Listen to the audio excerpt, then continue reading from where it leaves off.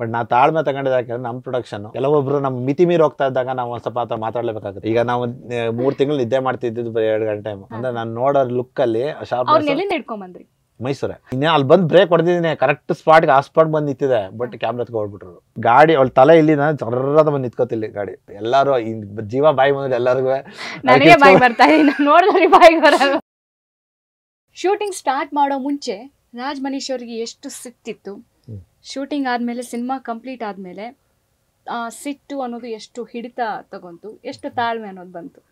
ಖಂಡಿತ ಬಂದಿದೆ.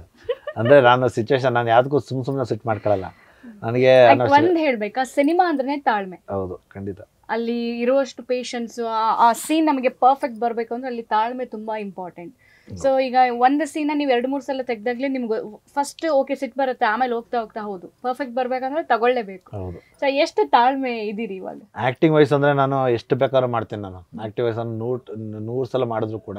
ನೂರು ಸಲ ಮಾಡಿದ್ರು ಕೂಡ ನೂರು ಸಲ ಬಿಳಿ ಅಂದ್ರೂ ಕೂಡ ಬೀಳ್ತೀನಿ ನಾನು. ನಾನು ನನ್ನ ಡೆಡಿಕೇಶನ್ ಹಾಗೆ. ಈಗ ನಮ್ಮ ಸೆಕೆಂಡ್ ಇಯರ್ ಸರ್ ಕೂಡ ಹಾಗೇನೆ.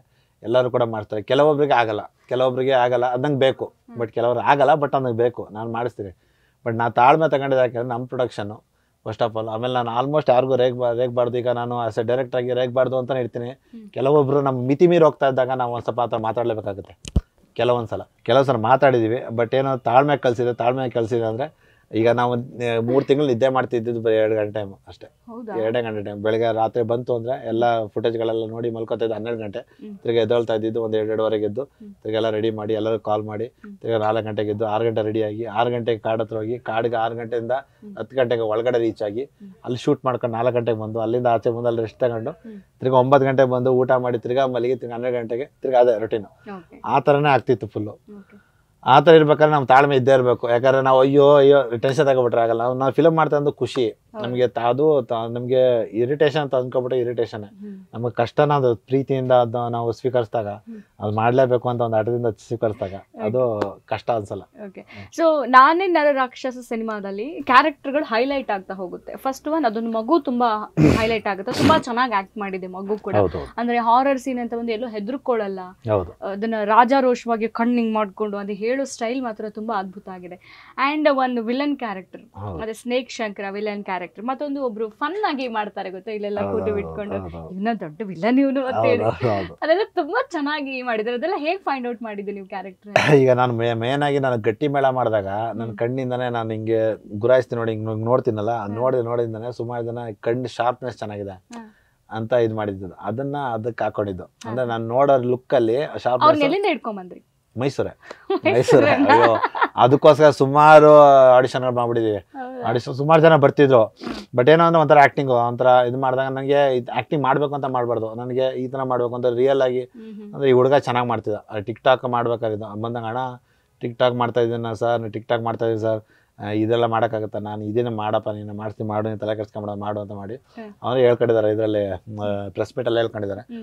ಅವೆಲ್ಲ ಮಾಡಿಸಿ ಎಲ್ಲ ರೆಡಿ ಮಾಡಿ ಅಲ್ಲಿ ತನಕ ತಗೊಂಬಂದು ಈ ಗಾನವಿ ಗೌಡ ಸಾರಿ ಗಾನವಿ ಆಚಾರ್ಯ ಅಂತ ಅಂದ್ರೆ ಸಸ್ಪೆನ್ಸ್ ಇರುವಂಥ ಒಂದು ಕ್ಯಾರೆಕ್ಟರ್ ಮಾಡಿದ ಹುಡುಗಿ. ಒಂದು ಹನ್ನೆರಡು ವರ್ಷ ಪಾಪು.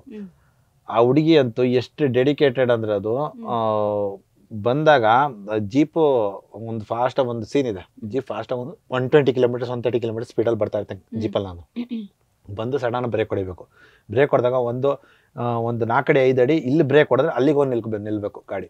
ಆ ಥರ ನಾನು ನಾನು ಎಲ್ಲಿ ಬ್ರೇಕ್ ಹೊಡೆದ್ರೆ ಎಲ್ಲೋಗಿ ನಿಲ್ಲುತ್ತೆ ಅಂತ ನಂಗೆ ಐಡಿಯಾ ಇದೆ. ಅಷ್ಟು ಸ್ಪೀಡಾಗಿ ಬಂದು ಎಲ್ಲಿ ಹೊಡೆದು ಬ್ರೇಕ್ ಹೊಡೆದು ನಿಲ್ಲಿಸಿ ನಾನು ತಿರ್ಗಾ ತಗೋಗಿದ್ದೆ ಗಾಡಿನ.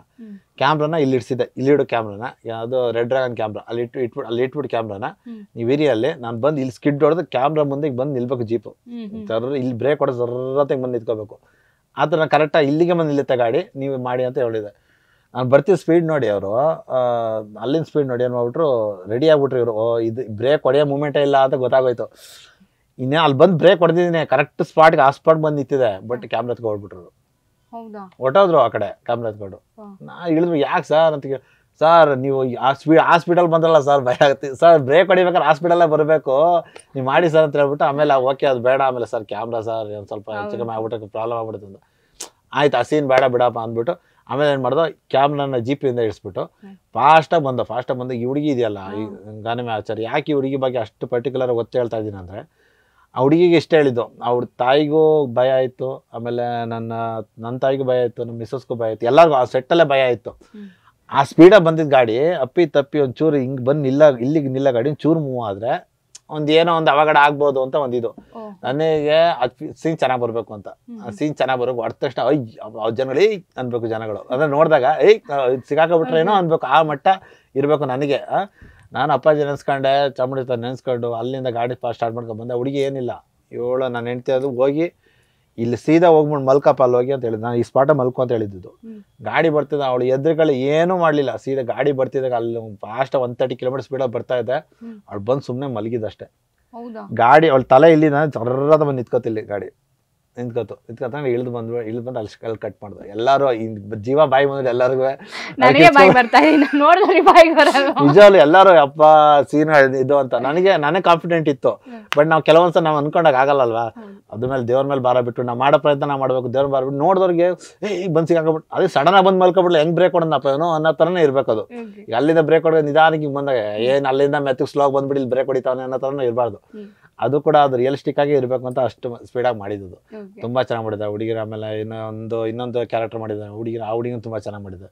ಎಲ್ಲರೂ ಆಲ್ಮೋಸ್ಟ್ ಕ್ಯಾರೆಕ್ಟರ್ಗಳಲ್ಲಿ ಯಾರು ಕೂಡ ಇದಿಲ್ಲ ಎಲ್ಲ ಚೆನ್ನಾಗಿ ಮಾಡಿದ್ರು ಮಾಡಿದ್ದಾರೆ. ಹೌದು.